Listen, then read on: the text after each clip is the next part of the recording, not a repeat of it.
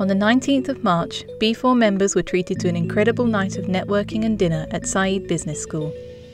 Chef Steve Wren and his team have perfected creating works of art that you can eat. Thank you to all who attended and to Saïd Business School for hosting us. To find out more about B4, visit b4-business.com. Thank you.